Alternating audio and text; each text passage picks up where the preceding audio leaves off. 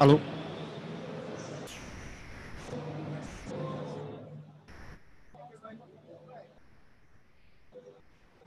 Oi, gente. Boa tarde. É, primeiramente, eu queria agradecer a presença de todos. Eu acho que esse é um evento muito rico de conteúdo e vocês terem reservado esse espaço para estar aqui é, é muito interessante, muito gratificante. Essa janela de programação das 4 às 4h45, 5 horas, ela tem curadoria da Prefeitura de São Paulo, pela Secretaria de Inovação e Tecnologia e pelo FabLab Livre SP.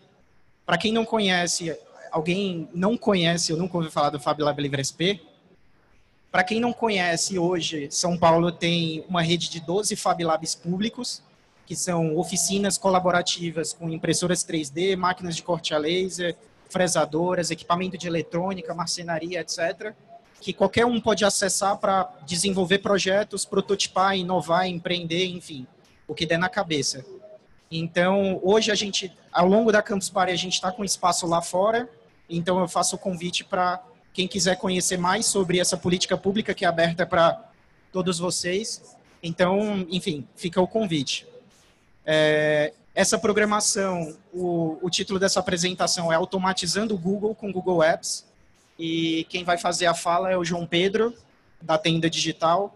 E deixo vocês com ele daqui a pouquinho. Daqui a pouquinho ele está subindo. Obrigado.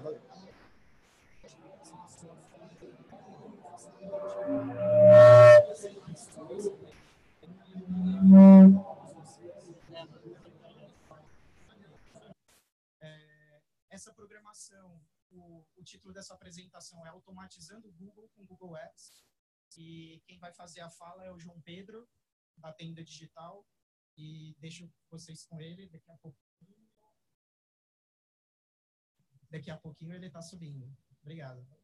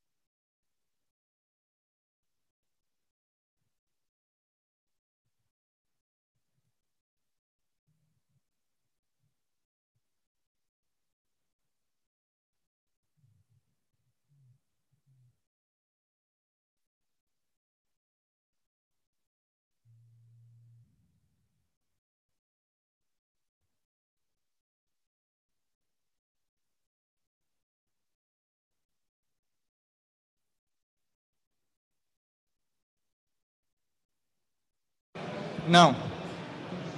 Aí, obrigado. Valeu, gente. Bom, depois de resolver os problemas técnicos que eu tive aqui, dá para começar. É, hoje a gente vai aprender um pouco como é que a gente consegue automatizar o Google utilizando o Google Scripts, né? E isso entra numa coisa muito famosa até da, da computação, que é a famosa recursividade, né?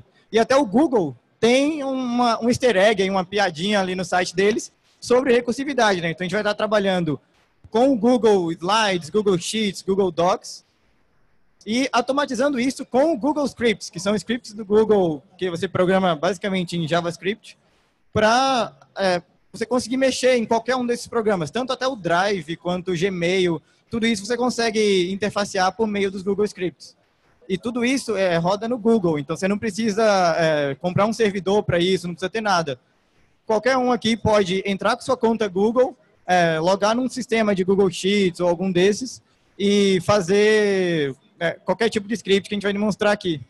Então, é só mostrando um pouco disso que tem no Google. Se você procura recursividade, você vai clicar no você quer dizer recursividade para sempre e o Google vai te manter fazendo a recursividade, que nada mais é do que uma coisa que pode se repetir de maneiras infinitas, né? Então, pode ser Google automatizando Google, automatizando Google e etc. Então, tem essa piadinha lá no Google. Né?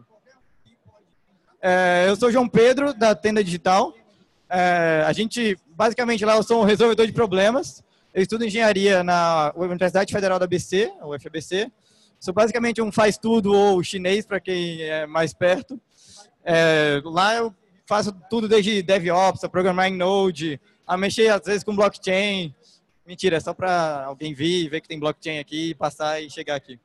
E eu sou amante de hardware, eu gosto bastante de hardware, de construir robôs e etc. E gosto bastante de piada ruim, então pode ser que eu faça algumas aqui no meio, então já peço umas desculpas aqui. É, eu vou falar um pouco do que é a tenda digital, nossa empresa, é rapidinho. Eu ia trazer um vídeo aqui, mas por causa dos problemas de internet eu não consigo. É de um, um aplicativo que a gente fez, que está na Apple Store e na Play Store, que é de realidade aumentada. E é uma parceria com uma empresa que faz aulas de robótica e esse aplicativo mostra os robôs para as crianças antes que elas montem os robôs de Lego. Provavelmente eu não vou carregar.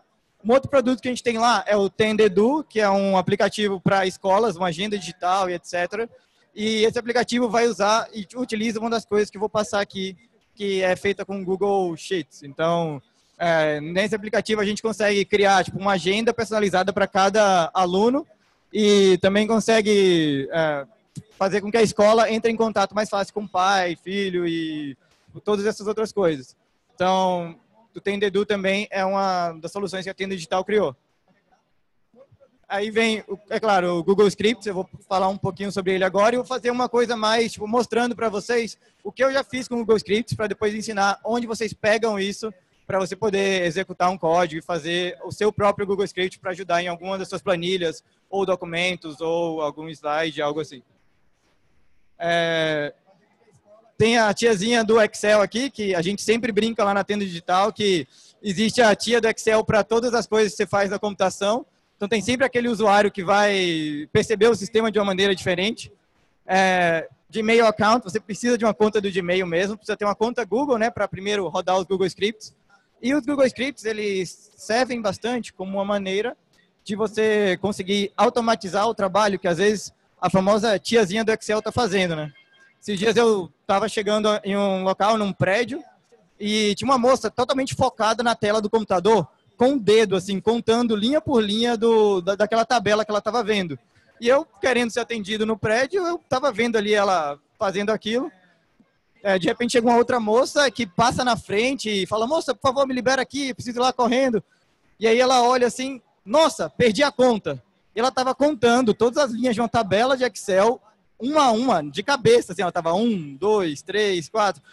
E uma pessoa incomodou ela, e aí ela pegou e saiu daquela, daquela coisa e perdeu a conta. Então eu tive que parar e falar, moça, você seleciona aqui, aparece um quadrado aqui embaixo que fala soma tantas coisas. E ela, nossa, nunca soube disso, estava aqui contando e tal. Agora você melhorou minha vida 100%.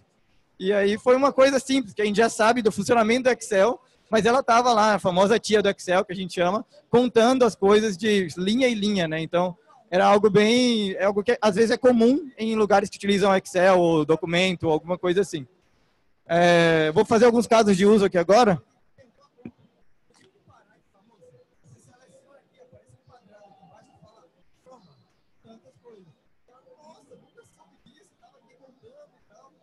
Que devem demorar um pouquinho para carregar, porque eu não estou na internet da campus. É, eu estou aproveitando de alguém que roteou aqui para mim.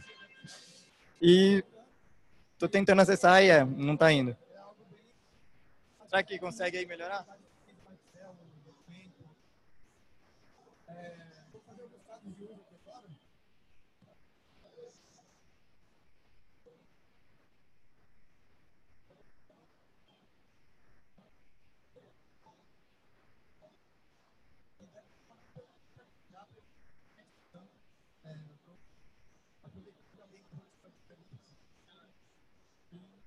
Huh?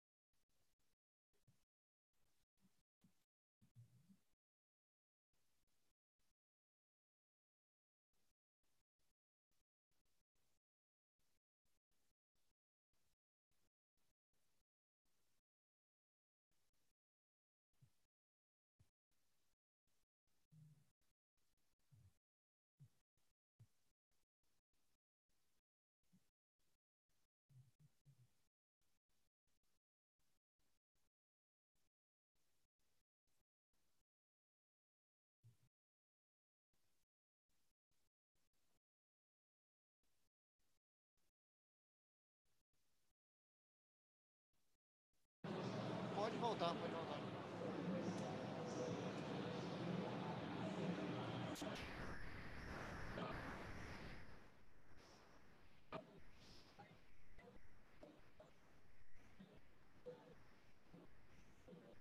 Bom, esperar carregar aqui por causa da internet, mas é, o que eu vou mostrar aqui basicamente são alguns casos de uso que eu desenvolvi com alguns amigos que envolvem tanto o uso de IoT quanto o uso de, de outros sistemas. Então, aqui, é,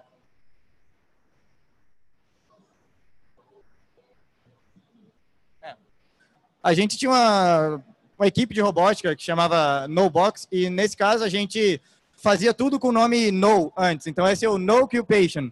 Isso é uma planilha que está rodando com Google Scripts. Então, por trás dessa planilha, quem está modificando os valores nela é o Google Scripts. E essa planilha, ela funciona com o dispositivo IoT. Então, a gente tinha um dispositivo lá de internet das coisas é, conectado na nossa sala, o laboratório da equipe.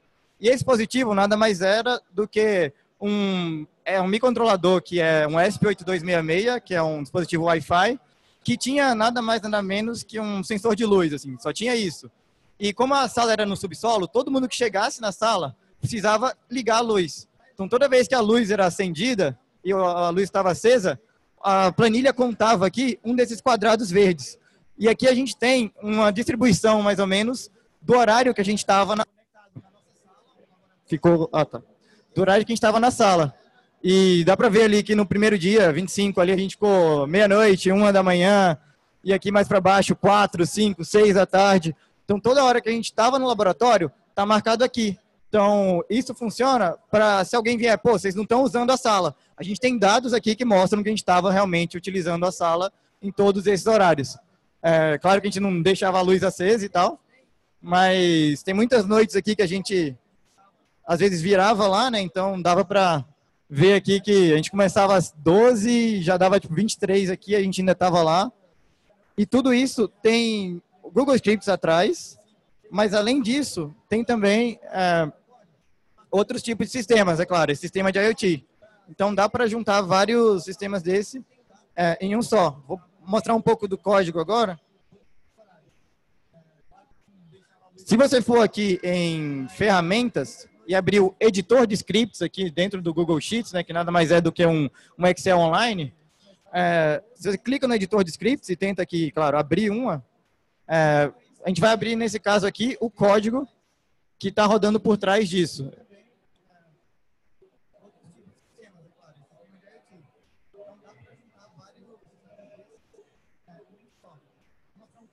Então, aqui dentro, eu tenho esse código que acho que dá para ver mais ou menos aqui, o ruim é que está branco, mas tem algumas funções em JavaScript, então esse Google Script nada mais é do que funções em, em JavaScript ou utilizar JavaScript. A extensão ali vai aparecer .gs, é claro, porque é um código Google Script, mas você consegue, por esse código, é, manipular tudo.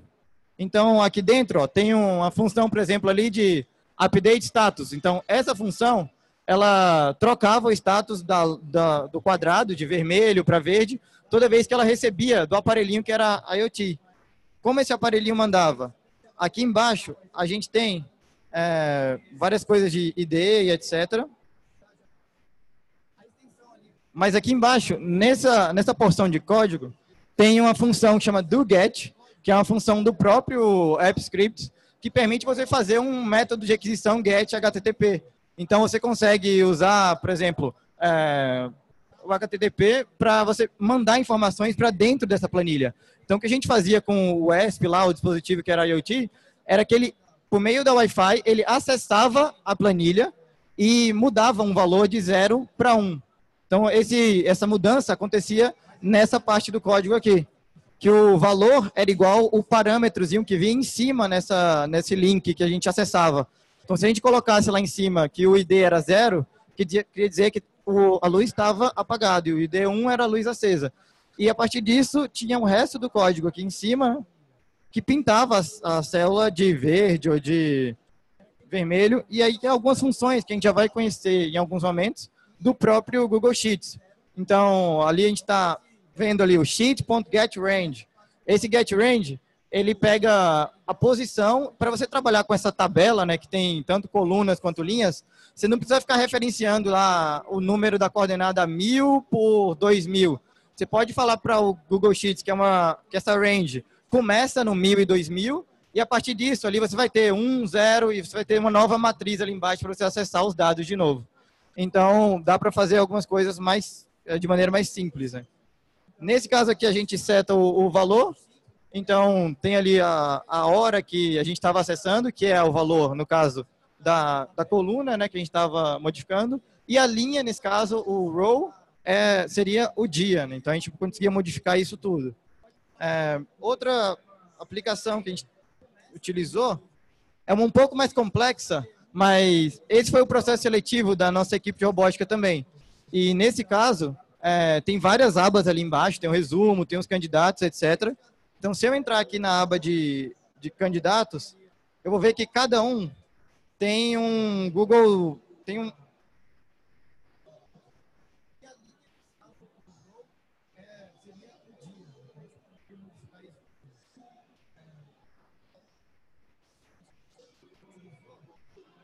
cada um aqui tem um, uma coluna ali, tem escrito Tracking Google Drive, né? E esse Tracking Google Drive é, quer dizer que tem um script aí atrás que olha o Google Drive da nossa equipe e vê se o usuário terminou ou não o desafio que ele foi, que ele foi submetido. Então, no caso ali, o primeiro, ele foi submetido a um desafio de mecânica. Nesse caso, ele não completou. Mas o segundo inscrito ali, ele foi fazer um desafio de programação e a gente sabe que ele completou esse desafio às 27h03, às, às 8 horas da noite. Então, como a gente sabe isso, é só ir lá de novo em... Só ir aqui de novo em ferramentas, né?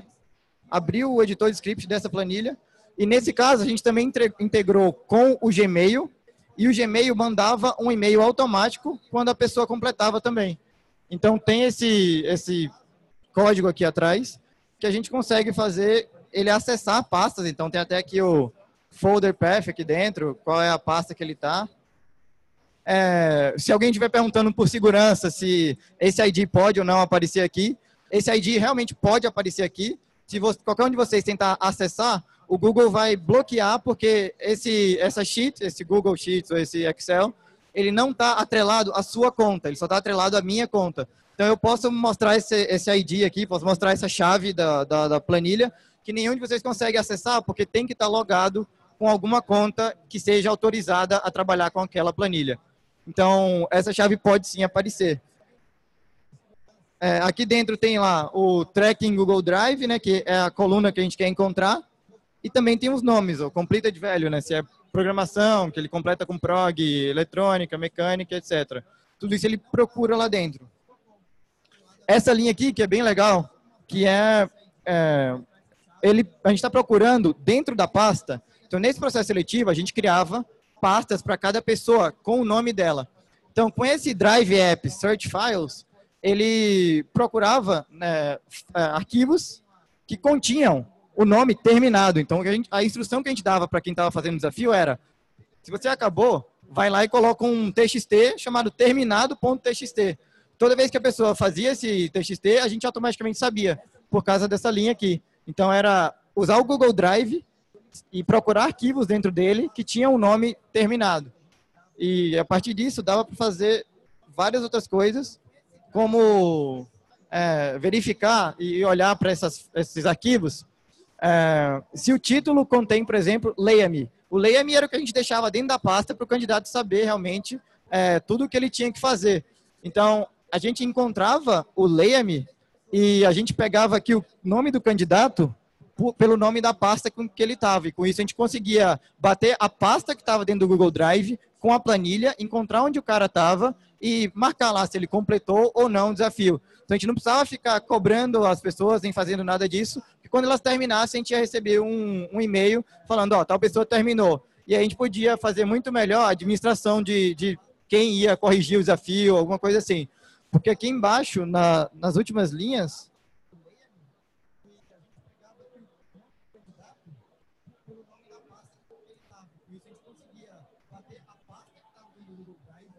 tem um mail app.send e-mail que mandava um e-mail para essas pessoas que estão aqui, se quiser, manda um e-mail para a gente também, e mandava um e-mail para todas as pessoas falando, ó, candidato tal, finalizou a challenge e eu estou enviando aqui o um e-mail para o candidato e para todas as pessoas. Então, a pessoa recebia um feedback e a gente também recebia um feedback.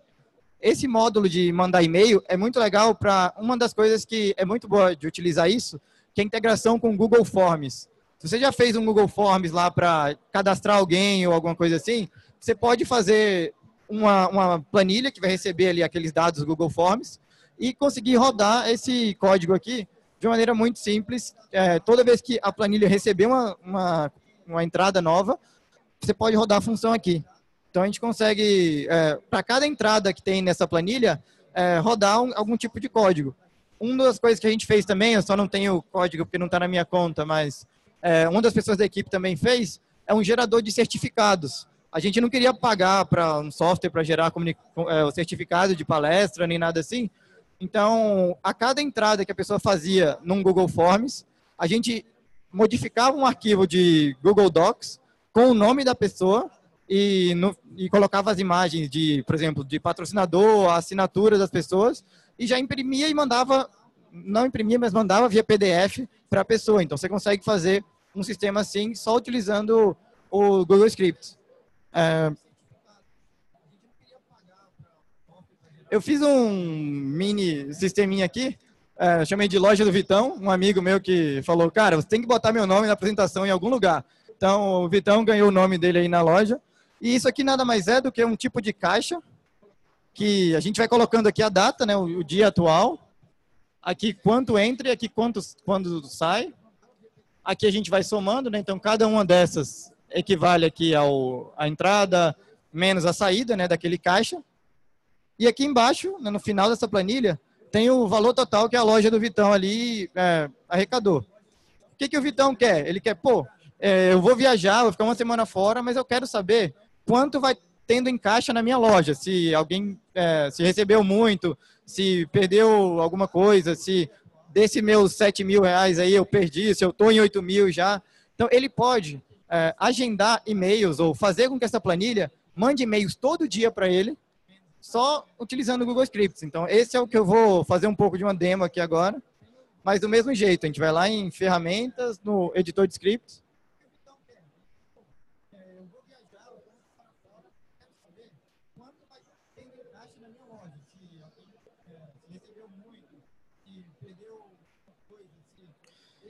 Bom, e aqui ó, eu criei uma função send email que abre é, o spreadsheet que eu estou fazendo. Então tem essa classezinha spreadsheet app que o Google fornece. O get active spreadsheet ele vai abrir aquela aquela função, aquela tabela do Excel que eu estou ativo atualmente, como eu fui lá na tabela e cliquei em editor de scripts, ele automaticamente abriu isso daqui. Então ele, ele automaticamente sabe que aquela tabela que eu vinculei ele, que eu fui lá e falei ferramentas, editor de scripts, é a tabela que eu estou mexendo. Então o sheet by name ali, caixa, é que essa tabela pode ter mais de uma mais de uma aba ali embaixo, né? Então a aba ali é o nome caixa, então ele sabe que ele deve pegar exatamente dessa aba. Como o valor lá embaixo está na última linha e também na última coluna, tem esse get last row e get last column que vai pegar da minha tabela realmente a coordenada da última linha e a coordenada da última coluna.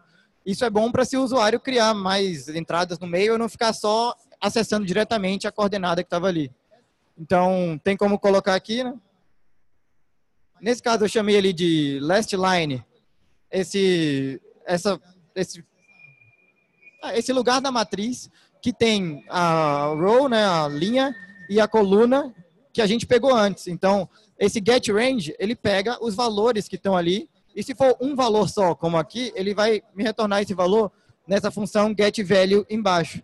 Então, eu falei, ó, pega aquela coordenada que é a última de todas, de linhas, e a última de todas, de colunas, e me passa esse valor. Então, tem ali um get value, que vai ser, no caso, a soma, né? Então, eu coloquei ali um var sum para armazenar o valor dessa, dessa soma.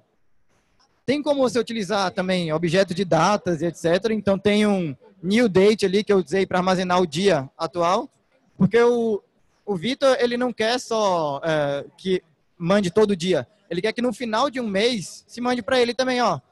Acabou o mês e hoje a gente tem tantos reais em caixa. Então essa data aí a gente pode utilizar para justamente automatizar nesses sentidos. Então a gente vai conseguir saber que dia é hoje e falar, ah, hoje, porque é dia primeiro, então a gente vai lá e coloca para mandar um e-mail que seja diferente dos outros e-mails que manda no dia, todos os dias. Aqui eu comecei a construir o e-mail, né? Então tem um, um subject que é o assunto do e-mail, chamei o e-mail de relatório de caixa. E aqui embaixo, esse var body, eu só inicializei uma variável que é pega o valor do corpo, né?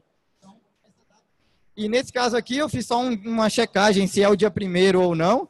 Então, se for o dia primeiro, ele fala só que, se for o dia primeiro, ele fala que o saldo no final do mês foi e mostra a soma. E se for um dia normal, qualquer dia que não seja o dia primeiro, ele fala, ó, hoje o saldo em caixa foi tanto. Então, nesse caso aqui, eu posso vir aqui embaixo, né? É, no Gmail App e colocar um send e-mail para o meu e-mail aqui, joaopedro.tenda.digital, com esse assunto e esse body, o body eu defini ali em cima, né? Então, body é, é olá, saldo ao final do mês foi tal, ou olá, alguma coisa do saldo em caixa. Para rodar isso daqui, deixa eu atualizar aqui que deu um bug no, nos ícones ali em cima. Ele já identificou que a única função presente nesse meu script é aquela função send e-mail lá em cima que eu criei. Eu não tenho nenhum outro tipo de função.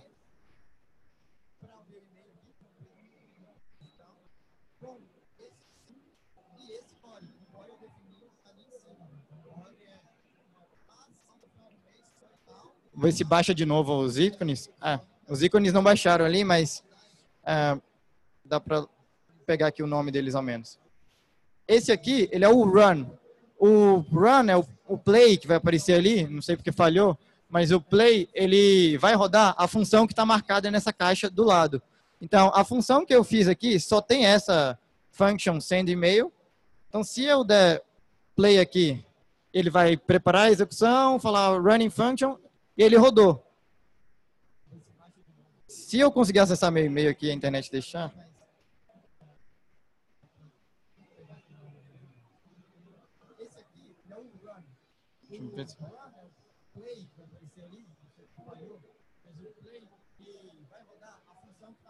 Então ele vai mandar esse e-mail, eu estou esperando só conectar aqui.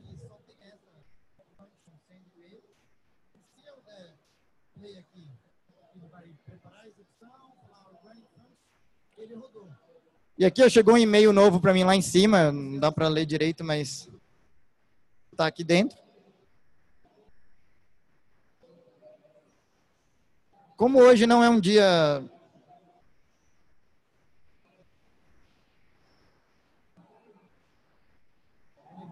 como hoje não é um dia primeiro, né, dia 31 ainda, ele mandou olá, pulou algumas linhas por causa da contrabarra N que eu coloquei ali e falou, hoje o saldo em caixa foi de 7922. Então a gente pode voltar lá na outra. E talvez mudar aqui, adicionar um dia a mais.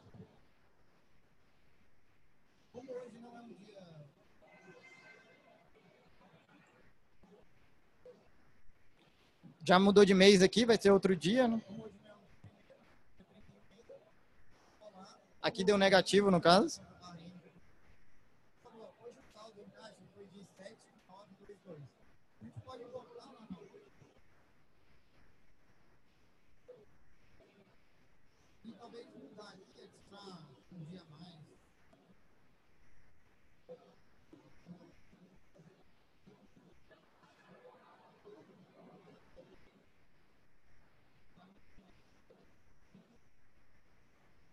Eu gerei uma modificaçãozinha aqui só.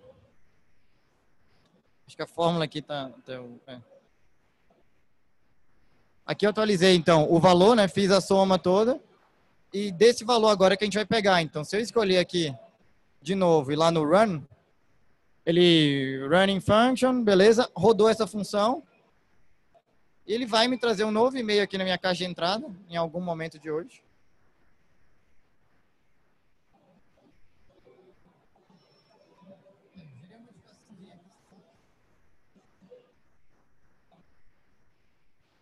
Rodar mais uma vez só para ter certeza. Vai chegar dois e-mails lá, provavelmente.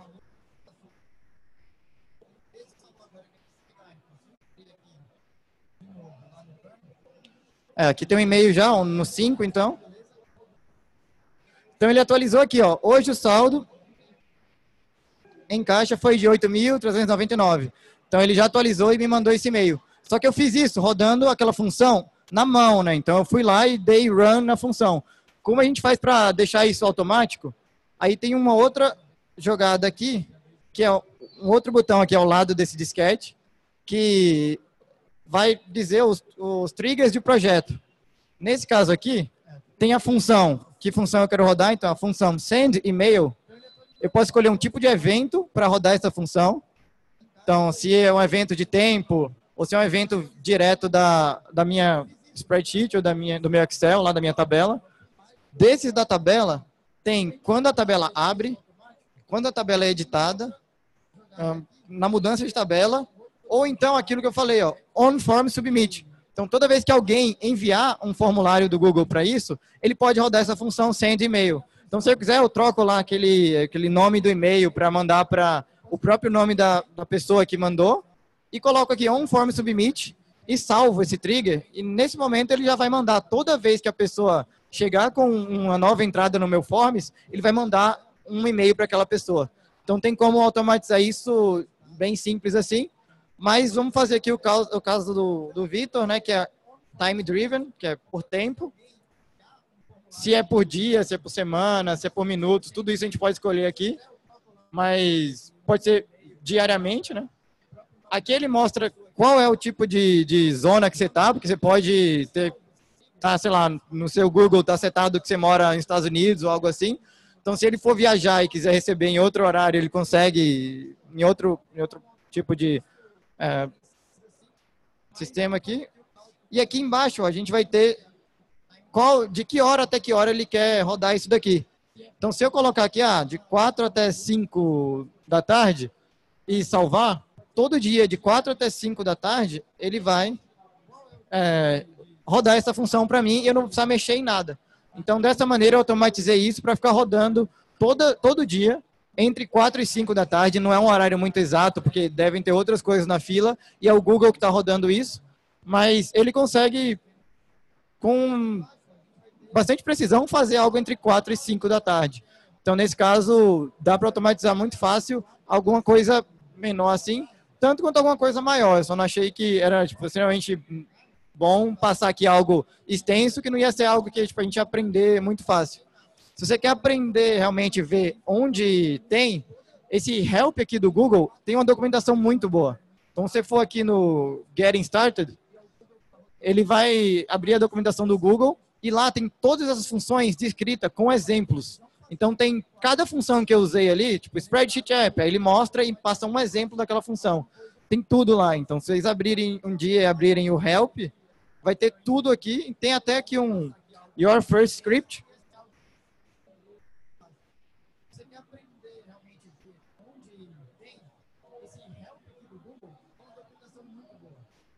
E esse first script aqui, ele mostra e fala, ó, a gente pode usar o Document App, então a gente não vai usar o, o Excel nesse caso, a gente vai usar o Docs, né? Ali tem um Create, então ele vai criar um doc é, com o nome Hello World. Ali ele vai dar no body do documento, no corpo dele, um append paragraph. Então ele coloca um parágrafo ali no meio com esse texto aqui. No final ele pega a URL, salva numa outra variável.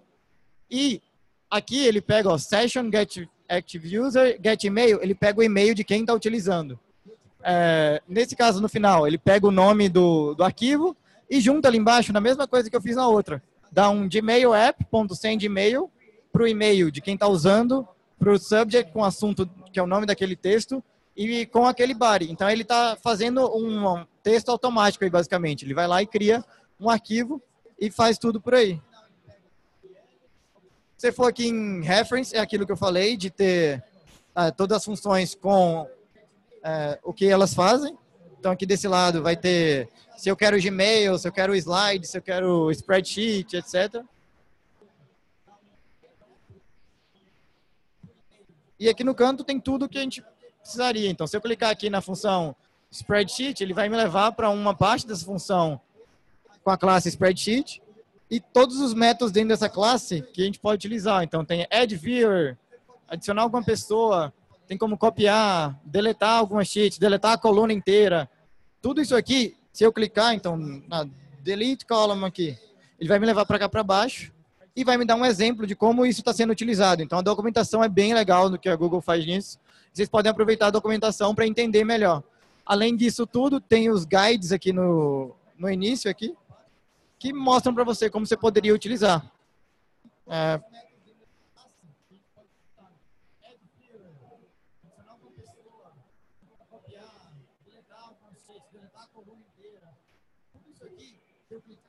Bom, é, terminando, a tenda digital está contratando, então se tiver algum desenvolvedor aqui que goste de é, tanto Node.js quanto Unity, quanto outros tipos de soluções, a gente é, pode receber e-mail em hello.tenda.digital ou se quiser saber mais sobre o que a gente faz, é só entrar no tenda.digital.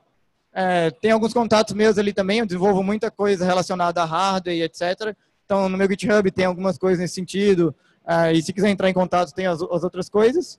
E se alguém tiver alguma pergunta, alguma coisa assim, eu vou estar aberto agora.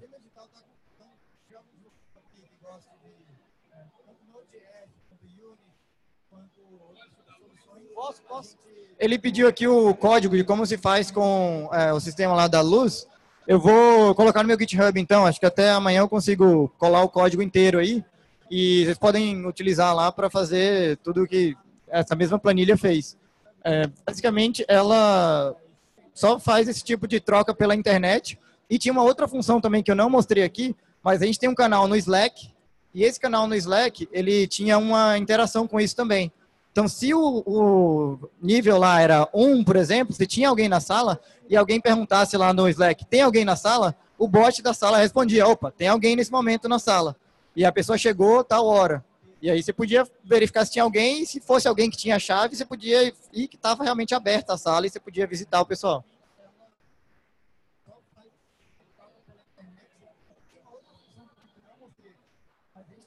Ah, obrigado então. Isso aí.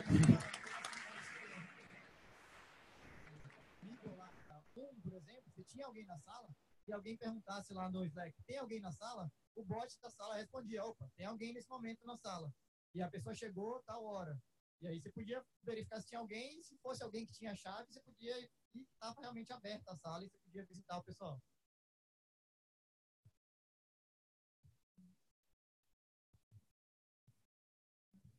Ah, obrigado então. Isso aí.